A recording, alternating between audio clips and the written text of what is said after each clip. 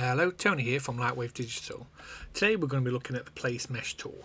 So with the Place Mesh tool, you basically, whatever you put in the background, whatever object you put in the background, it uses to stamp into the object that's in the foreground. So if I just have a quick look here, what I've got is I've got this kind of ground plane and then in the background I've placed lots of different objects. So these objects I got off a TurboSquid. Uh, what I'll do is I will put a link to this pack of like low poly objects. So let's just put in one of the trees in the background like so. And if you'll notice I've placed it so the tree is actually floating just on top of exactly where the center point is and also wherever the bottom of the object is on top of that main line is where it will stamp. So if the tree was kind of perfectly centered, it will be stamped so it's perfectly centered in the actual object. So for instance, let's just go to place mesh under your multiply tab. Bring up the numerical. And now when I click, it will add a new object. So let's go and make this full screen like so.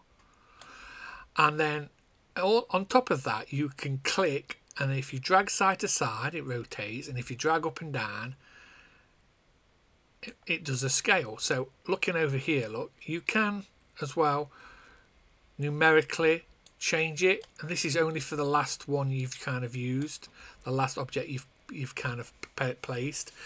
Uh, if I go down quickly, the render mode is just the way you can view it.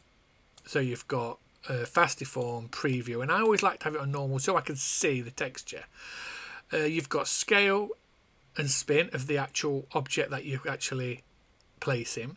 You've got ignore place mesh. What this is is going to stop you placing a mesh on top of an object you've already placed. Uh, if this is off, it will then let you click and place on top of the object you've just kind of created. Uh, so let's keep that on. Uh, smooth normals. This will give you a better positioning when you're using a more complex organic model. You've got random pitch, random uh, head, and you've got random scale. So if you wanted to, you can actually randomize this scale if you're adding more than one at a time. So for instance, if I just kind of go back and unclick this, let's, let's the tool. Let's say for instance, I just simply wanted to choose some random points. So I'm just holding shift down on my keyboard and I'm just randomly selecting random uh, points like that. Let's just say that. Then if I go to the place mesh, I'm going to tell it to have, let's just put a 100 random scale and let's click populate.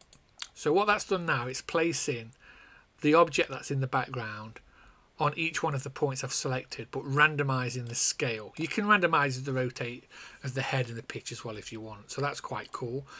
Now, if I just undo that, let's say, for instance, I had two different trees, which I've got here, place mesh, and I did the same again. Let's just put it again, random of 100 and populate. So now what it's done, it's chose the different trees and then scaled them to different sizes. There's two here, but they're very small, and then place them on. So you could do it like that as well.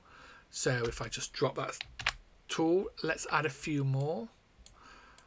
Just add a few more, like so. And then this time, let's go and add a few more different things. So we've got like a, let's add the bush, a stump, and a rock go to here let's put in a high let's say 200 now let's populate. So what it's done now it's randomized it uh, chose which kind of objects. It's using them all but it's put different ones at different scales on the actual points that I've selected. Like so there is some on here they're just really small. So that's quite cool as well. Let's just undo that and drop the selection. So let me just jump to a different scene at the minute there we go. So what I've got now is I've got this little road map here. And again, I've got this from TurboSquid and there's lots of different types of buildings that I want to kind of use on here. So let's just uh, put one in the background, go to place mesh, numerical, and then let's just click, and then let we can just grab and put a few of them there. Let's go and choose a different object. Let's put this here. Let's scale this. In fact, let's rotate it round to a bit bigger there. And again, we'll put another one there. Let's go to a different building. And let's place this one here. Uh, and again, we can just, because I'm on the last one, you can rotate it how you wish. Uh, and again, the scale can be as, as how you wish as well. So that's kind of quite cool. And again, let's just click another one. Uh, so it's right next to each other. Uh, obviously, it's going on the road a little bit, so I don't like that. So if you control Z, it will undo the last two. So let's place it over here instead, and then let's size it up a bit. Again, if I had some cars, you could come and uh, add cars to this as well. But if I like go and put everything in the background like so, I'm going to do this quite quickly. What it will do, it will randomly choose different objects one after another like so. Which again is really cool as well. But before you know it you can kind of build this up. You can go through cars lampposts benches and you can build up a little scene as quickly as you want using the actual uh, place mesh.